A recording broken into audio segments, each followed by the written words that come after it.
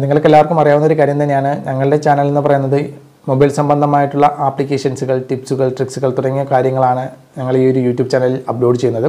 അതുകൊണ്ട് തന്നെ ഇത്തരം വീഡിയോസുകൾ കാണാൻ നിങ്ങൾക്ക് താല്പര്യമുണ്ടെങ്കിൽ ഞങ്ങളുടെ ചാനൽ ഇപ്പോൾ തന്നെ നിങ്ങൾ സബ്സ്ക്രൈബ് ചെയ്യുക. അപ്പോൾ കുറച്ച് പേർ എന്നോട് പറയുന്നുണ്ടായിരുന്നു ആപ്ലിക്കേഷൻസുകളും ടിപ്സുകളും ട്രിക്സുകളും അല്ലാതെ തന്നെ നമ്മുടെ മൊബൈലിന്റെ ഓപ്പറേറ്റിംഗ് സിസ്റ്റത്തെക്കുറിച്ച് കൂടി ഒരു വീഡിയോ തയ്യാറാക്കി ഇടാമോ എന്നുള്ളതിനെക്കുറിച്ച്. അപ്പോൾ തീർച്ചയായിട്ടും അതുമായി ബന്ധപ്പെട്ടുള്ള ഒരു വീഡിയോ തന്നെയാണ് ഇന്ന് ഞങ്ങൾ നിങ്ങൾക്ക് വേണ്ടി തയ്യാറാക്കി എടുക്കുന്നത് തയ്യാറാക്കി തരുന്നത്.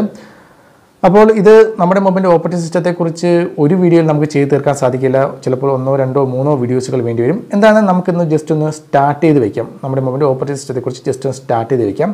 അപ്പോൾ അതിന്റെ ആദ്യപടി എന്ന എന്നത് എന്ന വണ്ണം നമ്മുടെ ഒരു മൊബൈൽ ഓണാകുന്ന കണ്ടീഷനെ കുറിച്ചാണ് ഇന്ന് ഞാൻ നിങ്ങളോട് പറയുന്നത്. തീർച്ചയായിട്ടും മൊബൈൽ ഉപയോഗിക്കുന്ന ഏതൊരു വ്യക്തികളും നമ്മുടെ മൊബൈൽ ഉപയോഗിക്കുന്നതോടൊപ്പം തന്നെ അവർ അവരുടേതായ മൊബൈൽ ഉപയോഗിക്കുന്നതോടൊപ്പം തന്നെ നമ്മുടെ മൊബൈലിന്റെ പ്രവർത്തന രീതി കൂടി നിങ്ങൾ മനസ്സിലാക്കിയിരിക്കുന്നത് വളരെ നല്ലതായിരിക്കും. എല്ലാവർക്കും ഈസിയായിട്ട് മനസ്സിലാക്കുന്ന രീതിയിൽ തന്നെയാണ് ഞാൻ വീഡിയോ പറഞ്ഞു തരുന്നത് തീർച്ചയായിട്ടും വീഡിയോ മുഴുവനായിട്ട് കാണാൻ ശ്രമിക്കുക. അപ്പോൾ മൊബൈൽ ഞാൻ നേരത്തെ പറഞ്ഞതുപോലെ മൊബൈൽ ഓൺ ആവുന്ന കണ്ടീഷനെ കുറിച്ചാണ് പറയുന്നത്. നമ്മുടെ മൊബൈൽ നമ്മൾ സാധാരണയായിട്ട് ഓഫ് കണ്ടീഷനായിരിക്കും മൊബൈൽ ഓഫായിരിക്കുന്ന ഒരു മൊബൈൽ ഓൺ ആക്കുന്നതിനായിട്ട് നമ്മൾ എന്താണ് ചെയ്യുന്നത്? നമ്മുടെ മൊബൈലിന്റെ പവർ ബട്ടണിൽ ലോങ് ആയിട്ട് പ്രസ് ചെയ്യും. ഇതുപോലെ ലോങ് ആയിട്ട് പ്രസ് ചെയ്യും.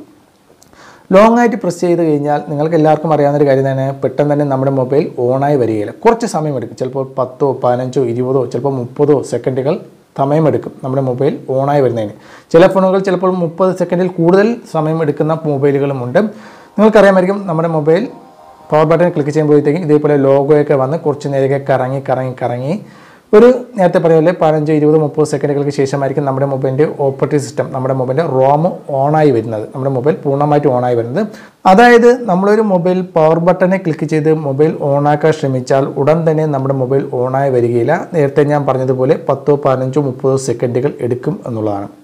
ആ സെക്കൻഡിന്റെ ഇടയ്ക്ക് വെച്ച് അത്ര സമയത്തിനിടയ്ക്ക് വെച്ച് നമ്മുടെ മൊബൈൽ കുറച്ച് പ്രവർത്തനങ്ങൾ കുറച്ച് കാര്യങ്ങൾ നമ്മുടെ മൊബൈലിലേക്ക് നടക്കുന്നുണ്ട്. അതിൽ പ്രധാനപ്പെട്ട കാര്യങ്ങളാണ് ബൂട്ടിങ്ങും ബൂട്ട് ലോഡറും. ഈ രണ്ട് കാര്യങ്ങളും മെയിനായിട്ട് നമ്മുടെ മൊബൈൽ ഉണ്ടെങ്കിൽ മാത്രമേ നമ്മുടെ മൊബൈൽ ഓണായി വരികയുള്ളൂ. ബൂട്ട് എന്ന് പറയുന്നതും ബൂട്ട് ലോഡർ എന്ന് പറയുന്നതും ഈ രണ്ടും ഒരു ചെറിയൊരു സോഫ്റ്റ്വെയർ ആണ്. ഈ രണ്ട് സോഫ്റ്റ്വെയറും എന്താണ് നമ്മുടെ മൊബൈൽ ചെയ്യുന്നതെന്നും എങ്ങനെയാണ് ഈ രണ്ട് സോഫ്റ്റ്വെയർ ഉപയോഗിച്ച് നമ്മുടെ മൊബൈലിന്റെ ഓപ്പറേറ്റിംഗ് സിസ്റ്റത്തെ ഓണാക്കി എടുക്കുന്നത് എന്നുള്ളത് ഞാൻ പറഞ്ഞുതരാം.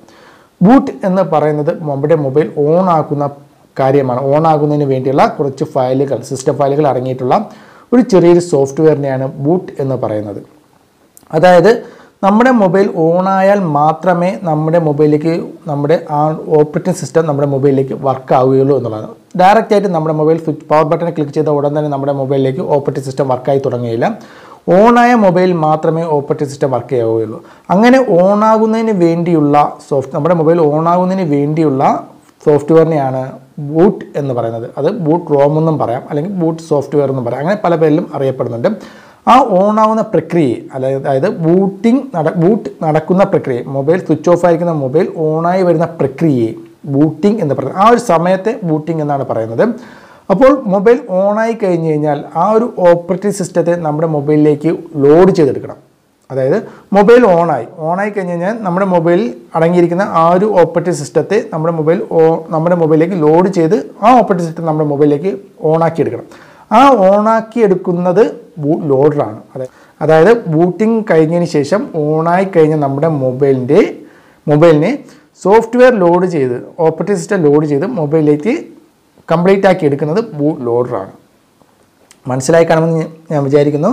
അതായത് ഒരു മൊബൈൽ ഓണാക്കുന്നതിന് വേണ്ടിയുള്ള ഫയലുകൾ അടങ്ങിയിട്ടുള്ള ചെറിയൊരു സോഫ്റ്റ്വെയർ ബൂട്ട് എന്നും മൊബൈൽ ഓണാവുന്ന പ്രക്രിയയെ ബൂട്ടിംഗ് എന്നും ഓപ്പറേ ബൂട്ടിംഗ് ബൂട്ടിംഗ് നടന്നതിന് ശേഷം ഓപ്പറേറ്റിംഗ് സിസ്റ്റം നമ്മുടെ മെയിൻ ഓപ്പറേറ്റിംഗ് സിസ്റ്റത്തെ നമ്മുടെ മൊബൈലിലേക്ക് ഓണാക്കിയെടുക്കുന്നതിനെ ബൂട്ട് ലോഡർ എന്നും പറയുന്നുണ്ട്. അപ്പോൾ ഈ മൂന്ന് കാര്യങ്ങൾ ബൂട്ട് ബൂട്ടിംഗ് ബൂട്ട് ലോഡർ ഇത്രയും കഴിഞ്ഞാൽ മാത്രമേ നമ്മുടെ മൊബൈൽ ഓണായി വരികയുള്ളൂ. നമ്മുടെ സോഫ്റ്റ്വെയർ ഇതിലേക്ക് ഓപ്പറേറ്റിംഗ് സിസ്റ്റം നമ്മുടെ മൊബൈലിലേക്ക് ഓണായി വരികയുള്ളൂ.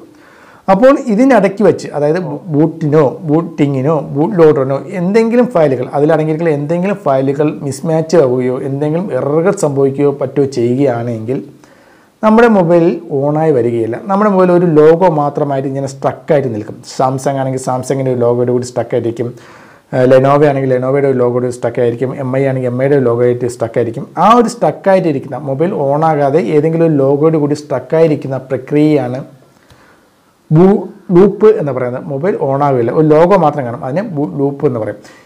അതായത് മൊബൈൽ ഓൺ ആകാതിരിക്കുന്ന ഒരു കണ്ടീഷനെ ബൂട്ട് ലൂപ്പ് എന്ന് പറയുന്നത് അങ്ങനെ ബൂട്ട് ലൂപ്പ് സംഭവിക്കുകയാണെങ്കിൽ നമുക്ക് ആ ഒരു മൊബൈലിന്റെ ബൂട്ടിങ്ങിന് ബൂട്ട് ലോറിനോ എന്തെങ്കിലും പ്രോബ്ലംസ് വന്നിട്ടുണ്ടോ എന്ന് ചെക്ക് ചെയ്ത് ആ ഒരു സോഫ്റ്റ്വെയർ ആ ഒരു സോഫ്റ്റ്വെയറിനെ റെക്ടിഫൈ ചെയ്താൽ മാത്രമേ പിന്നീട് നമ്മുടെ മൊബൈൽ ഓൺ ആക്കിയെടുക്കാൻ സാധിക്കുള്ളൂ അതിന് അങ്ങനത്തെ കണ്ടീഷൻ നമ്മൾ നമ്മുടെ സർവീസ് സെന്ററിലൊക്കെ കൊടുത്ത് നമുക്ക് നമ്മുടെ നമ്മുടെ മൊബൈലിന്റെ സോഫ്റ്റ്വെയർ ചെയ്യേണ്ടതായിട്ട് വരും. അപ്പോൾ അങ്ങനെയൊക്കെ ചെയ്യുന്നതിനാണ് ബൂട്ട് ലൂപ്പ് വന്നു കഴിഞ്ഞാൽ സോഫ്റ്റ്വെയർ ചെയ്യുക. അതായത് ബൂട്ടിങ്ങിലുണ്ടായ തകരാറുകൾ മാറ്റിയാൽ മാത്രമേ നമ്മുടെ മൊബൈൽ ഓണായി വരികയുള്ളൂ എന്നുള്ളതാണ്. അപ്പോൾ നിങ്ങൾക്ക് ഇത്രയും കാര്യങ്ങൾ മനസ്സിലാക്കണമെന്ന് വിചാരിക്കുന്നു. ബൂട്ട് ബൂട്ട് എന്താണെന്നും ബൂട്ടിംഗ് എന്താണെന്നും ബൂട്ട് ലോഡർ എന്താണെന്നും അതുപോലെ തന്നെ ബൂട്ട് ലൂപ്പ് എന്താണ് നിങ്ങൾ മനസ്സിലാക്കണമെന്ന് വിചാരിക്കുന്നു. അപ്പോൾ നേരത്തെ ഞാൻ പറഞ്ഞതുപോലെ ഈ മൊബൈൽ ഓണായി വരുന്ന അതായത് ലോഗോയുടെ കൂടി ഓണായി വരുന്ന ആ ലോഗോയെ നമുക്ക് ബൂട്ട് ലോഗോ എന്ന് പറയും. ചില ചെറിയൊരു ആനിമേഷൻ കാണാൻ സാധിക്കും. ചിലപ്പോൾ നമ്മൾ ബൂട്ടിങ് നടന്നുകൊണ്ടിരിക്കുന്ന സമയത്ത് ചെറിയ കറങ്ങലും മറ്റൊക്കെ കാണാൻ- സാധിക്കും. അതിനെ ബൂട്ട് അനിമേഷൻ എന്ന് പറയും. അങ്ങനെ കുറച്ച് കാര്യങ്ങളൊക്കെ. ഈ ബൂട്ട് ലോഗയും ബൂട്ട് അനിമേഷനൊക്കെ നമുക്ക് വേണമെങ്കിൽ ചേഞ്ച് ചെയ്യാം. റൂട്ട് ചെയ്ത് നമ്മുടെ മൊബൈൽ റൂട്ട് ചെയ്യുകയാണെങ്കിൽ ഇത്തരം ബൂട്ട് ബൂട്ട് ലോഗയും ബൂട്ട് അനിമേഷനൊക്കെ നമുക്ക് ഇഷ്ടമുള്ള രീതിയിൽ ചേഞ്ച് ചെയ്യാൻ സാധിക്കും. അപ്പോൾ അതിനെക്കുറിച്ചൊക്കെ ഞാൻ വേറൊരു വീഡിയോയിൽ ഞാൻ പറയാം. അതുപോലെ തന്നെ ബൂട്ട് ലോഡറെ കുറിച്ച് പറയുകയാണെങ്കിൽ നമുക്ക് ലോക്ക്ഡ് ബൂട്ട് ലോഡറും ഉണ്ട് അൺലോക്ക്ഡ് ബൂട്ട് ബൂട്ട് ലോഡറും ഉണ്ട്. ലോക്കായിട്ടുള്ള ബോട്ട് ലോഡർ അൺലോക്ക് ചെയ്യേണ്ടതായിട്ട് വരുന്ന പല സാഹചര്യങ്ങളുണ്ട് അതിനെക്കുറിച്ച് ഡീറ്റെയിൽസ് ആയിട്ടുള്ളൊരു വീഡിയോ വേണമെങ്കിൽ ഞാൻ തയ്യാറാക്കി തരാം. അത്യാവശ്യമുള്ളവരുണ്ടെങ്കിൽ താഴെ കമന്റ് ചെയ്യുകയാണെങ്കിൽ അതിനെക്കുറിച്ചുള്ള ഡീറ്റെയിൽസ് ആയിട്ടൊരു വീഡിയോ ഞാൻ പറഞ്ഞുതരാം. അപ്പോൾ ഇത്രയും ഇത്രയും കാര്യങ്ങൾ നിങ്ങൾക്ക് മനസ്സിലായി മൊബൈൽ ഓൺ ആകുന്ന ആ ഒരു കണ്ടീഷൻ നിങ്ങൾക്ക് മനസ്സിലാക്കണമെന്ന് വിചാരിക്കുന്നു. അപ്പോൾ ഈ ഒരു വീഡിയോ സംബന്ധിച്ച് എന്തെങ്കിലും ഒരു ഡൗട്ട് ഉണ്ടെങ്കിൽ തീർച്ചയായിട്ടും താഴെ കമന്റ് ചെയ്യുക. ഞങ്ങൾ അതിനെ റിപ്ലൈ നൽകുന്നതായിരിക്കും. അപ്പോൾ അടുത്ത വീഡിയോയിൽ ഞാൻ ഇതിനെക്കുറിച്ച് കുറച്ചും കൂടെ ഡീറ്റെയിൽസ് ആയിട്ട് നമ്മുടെ ഓപ്പറേറ്റിംഗ് സിസ്റ്റത്തെ കുറിച്ചൊക്കെ കുറച്ചും കൂടെ ഡീറ്റെയിൽസ് ആയിട്ടുള്ള വീഡിയോ ഞാൻ പറഞ്ഞു തരാം അപ്പോൾ ഈ വീഡിയോ ഇഷ്ടപ്പെട്ടുവെങ്കിൽ ഈ വീഡിയോക്ക് ലൈക്ക് ചെയ്യുക. അടുത്തൊരു നല്ലൊരു വീഡിയോ വീണ്ടും കാണാം. ബൈ